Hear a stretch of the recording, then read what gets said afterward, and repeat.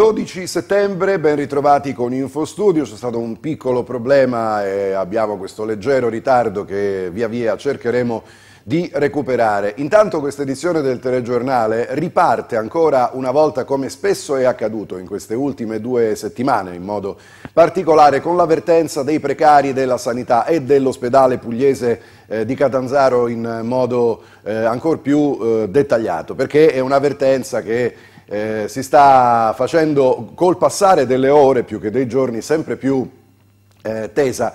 Eh, dovremmo vedere subito un paio di foto che ci hanno inviato poco fa eh, i sindacalisti eh, che mostrano eh, un sit-in all'interno dell'ospedale, poi anche nei locali del pronto soccorso, nei quali logicamente le telecamere non possono entrare, vedete la predisposizione di, un, eh, di, uno striscione, di un cartello con una scritta spray eh, nel quale ironicamente si rivolge appunto un ringraziamento al commissario alla sanità, possiamo tornare in studio. Ma ripeto, è da un lato una corsa contro il tempo, perché comunque c'è una scadenza che è quella di fine eh, anno, eh, al 31 dicembre eh, per molti di questi lavoratori si sarà compiuto il percorso, si chiuderà il cerchio dei 48 mesi dopo i quali i loro contratti non possono essere rinnovati. Era un vincolo di cui già si era a conoscenza, tuttavia pensare di eh, mandare a casa 200 lavoratori, e parliamo di medici, infermieri, ostetriche, tecnici, e eh, operatori sanitari un, eh, nel più grande ospedale calabrese senza che questo non ne risenta è eh, pura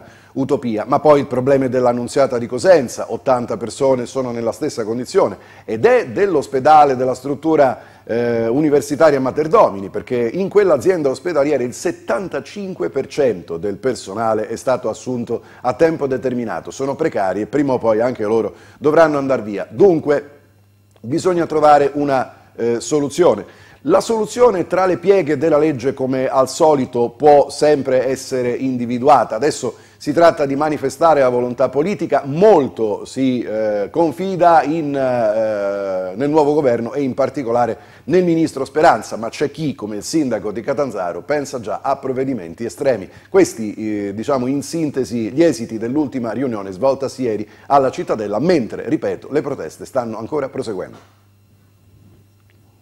Si cerca una via d'uscita per salvare i circa 200 precari dell'ospedale pugliese di Catanzaro che rischiano il posto di lavoro, poiché essendo stati assunti a tempo determinato sono scaduti 48 mesi oltre i quali secondo le norme in vigore non possono più essere concesse loro proroghe contrattuali.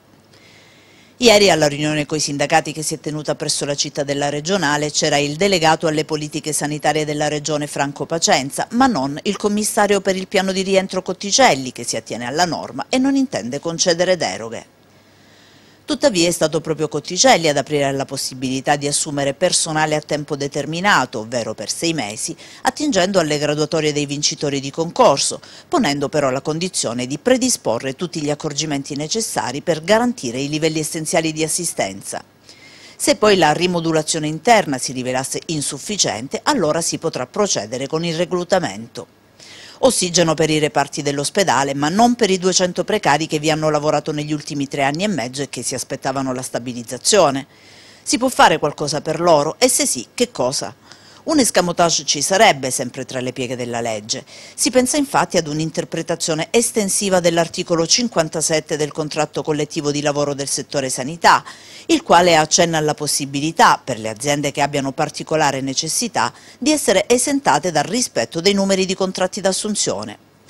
Ed in questo momento non c'è forse azienda sanitaria italiana che ha bisogno di rimpinguare gli organici più di quella ospedaliera di Catanzaro. La fuoriuscita dei 200 precari infatti provocherebbe anche un taglio dei posti letto e dei servizi, con ripercussioni assai gravi sull'utenza, già stremata da liste d'attesa infinite, file interminabili per qualunque tipo di prestazione e malfunzionamenti. A questa ipotesi, che al momento sembra essere l'unica possibilità per non disperdere il capitale umano e non mettere definitivamente in ginocchio l'ospedale di Catanzaro, stanno lavorando il direttore generale del Dipartimento Salute Belcastro ed i sindacati, che poi dovrebbero sottoporre l'atto ai reggenti delle aziende. E che la situazione sia preoccupante lo dimostra anche il fatto che il sindaco di Catanzaro, Sergio Abramo, stia valutando la possibilità di emanare un'ordinanza sindacale per motivi di emergenza sanitaria. E poi c'è la via governativa. Tra poco il nuovo governo dovrebbe cominciare ad operare pienamente e se i latini avevano ragione, il nuovo responsabile del Ministero della Salute ha esattamente il cognome giusto per evitare la deriva, Speranza.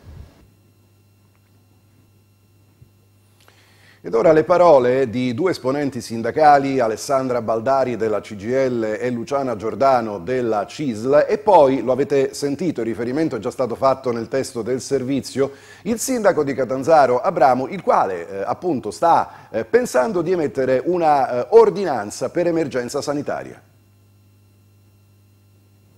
Noi siamo pienamente convinti e lo abbiamo ribadito in più sedi, eh, l'abbiamo anche eh, sancito nel protocollo dell'8 maggio con i commissari e con il direttore generale del Dipartimento, che non un posto di lavoro in sanità si possa perdere, eh, perché noi versiamo già eh, in tutte le aziende sanitarie e ospedaliere in una situazione molto critica dovuta innanzitutto alla gravissima carenza di personale. Noi chiediamo il mantenimento e la stabilizzazione del personale a tempo determinato, la chiamata di tutti gli, no gli idonei e l'autorizzazione a nuove assunzioni e la necessità di bandire nuovi concorsi perché assolutamente noi abbiamo bisogno per far funzionare il sistema sanitario regionale innanzitutto delle persone. Da lì si parte, senza queste sarebbe una macchina senza ruote, non potrebbe camminare. Noi abbiamo, eh, riponiamo molte, molte speranze e molte aspettative nel nuovo ministro, un ministro che deve necessariamente avvocare a sé l'avvertenza sanità Calabria, un'avvertenza che oggi registra veramente la classica goccia che ha fatto traboccare il vaso. Chiederemo immediatamente un incontro col ministro perché non possiamo aspettare, c'è il problema del graduatorie del, che bisogna portare avanti degli idonei, c'è il problema di questi ragazzi che sono stati mandati a casa dei precari, che oggi sono 18, domani diventeranno 60 e soprattutto i settori della sanità sguarniti di personale sanitario quindi la, la, Calabria non si regge più. Se non riusciamo a risolvere il problema della sanità e dare garanzia alla salute, credo che non riusciremo a risolvere nessun altro problema. Mi concentrerò per capire se è possibile eventualmente fare anche un'ordinanza vista la situazione sanitaria che è in grande grande emergenza e quindi questa ordinanza servirà sicuramente a impegnare molto di più anche le varie direzioni degli ospedali.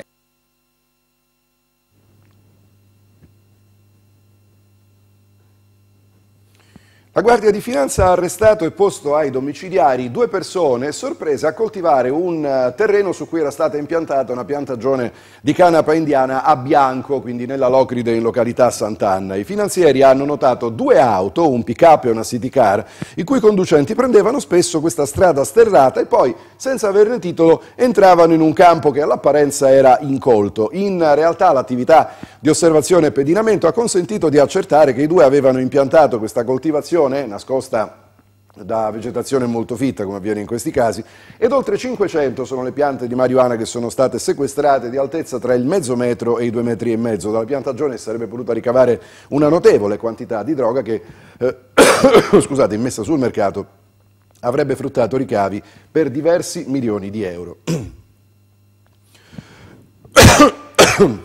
Chiedo ancora scusa. Un 54enne, Pasquale Costantino, è morto in un incidente sul lavoro avvenuto a Platania. Stava lavorando su un terreno in località Velati quando, per cause in corso di accertamento, il mezzo gli si è rovesciato addosso. Sono intervenuti i vigili del fuoco, ma purtroppo per l'uomo non c'era già più nulla da fare. A Soverato i carabinieri stanno indagando sulla morte di un bambino di San Sostene di soli 28 giorni.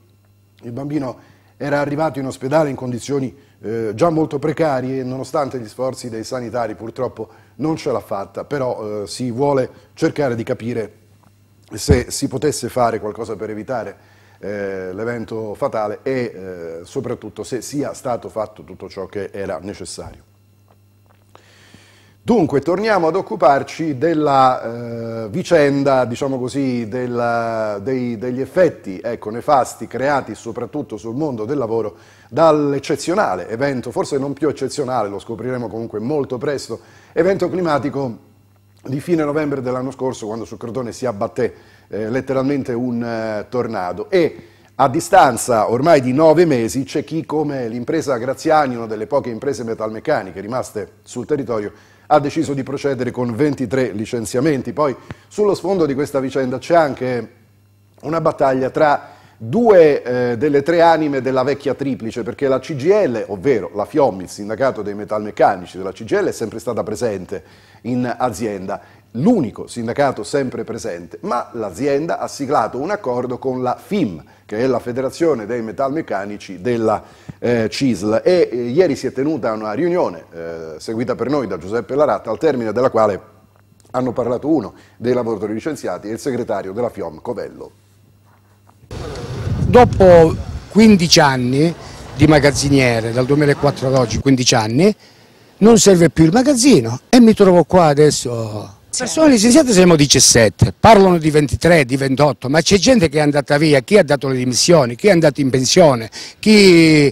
e allora il numero si è ridotto a 17, però lui ha mandato 17 persone effettivamente, di cui il più poco a minimo 20 anni di assunzione. Le problematiche dell'azienda ci sono, non è che non ci sono, però si poteva venire a un'alternativa, si poteva discutere, si poteva parlare. Il sindacato stava cercando di trattare, di portare al termine una trattativa, poi sono arrivati dei signori che noi né conosciamo né sappiamo chi sono, è praticamente un'altra confederazione sindacale, che sarebbe la CISL, sarebbe, che noi né conosciamo, mai visti in questa azienda, noi sono 4-5 anni che stiamo cercando di risolvere la problematica dell'azienda, del mercato del lavoro e del costo del lavoro, non è che noi non ce ne frega niente dall'azienda, perché noi purtroppo siamo qua che mangiamo e nel piatto dove mangiamo non abbiamo mai sputato. Perché vanno a casa questi 17 lavoratori?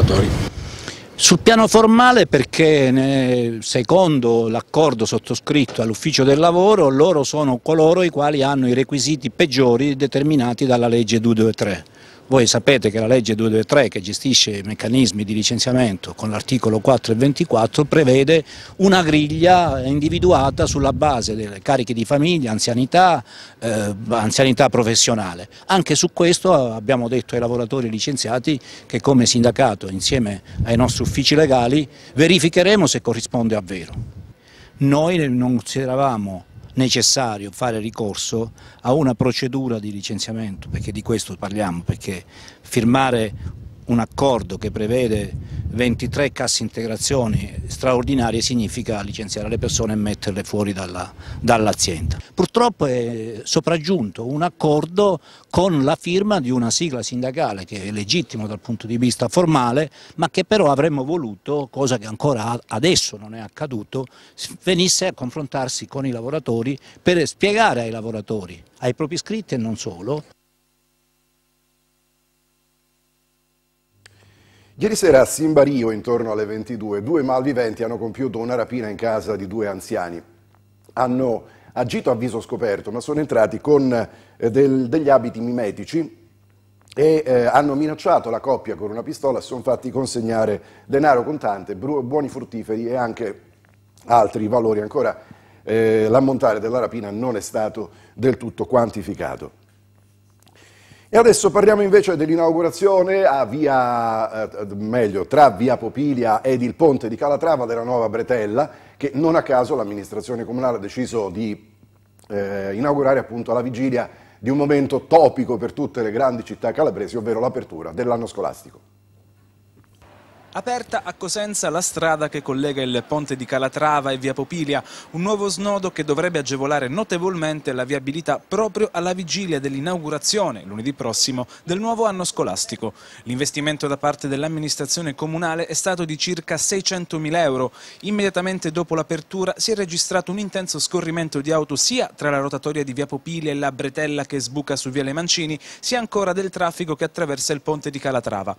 L'apertura della strada è un altro degli step verso la riqualificazione di quella che era una periferia alquanto degradata ed il cui passo successivo sarà la realizzazione della nuova direttrice di collegamento fra la parte nord e la parte sud del capoluogo Bruzio, per la quale sono già state ultimate le procedure di affidamento.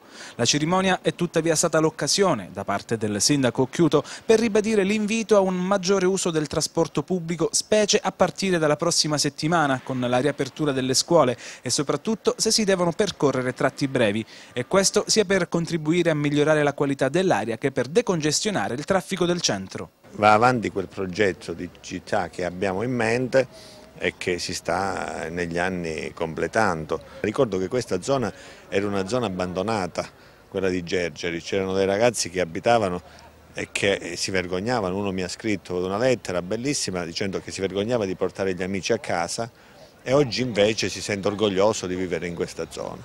Quindi io penso che il lavoro che noi facciamo per migliorare la città è un lavoro che resterà alle generazioni future ai giovani che si sentiranno sempre più orgogliosi.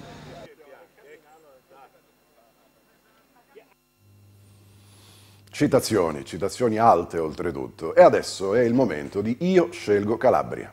Io scelgo Calabria è una grande iniziativa mediatica che mira ad ottenere ciò che governi, politica non sono mai riusciti a fare, costruire un forte mercato interno calabrese. Possiamo aiutare i nostri migliori produttori agroalimentari se consumatori, ristoratori, proprietari di alberghi, pub, pizzerie decideranno di lavorare assieme. Io scelgo Calabria.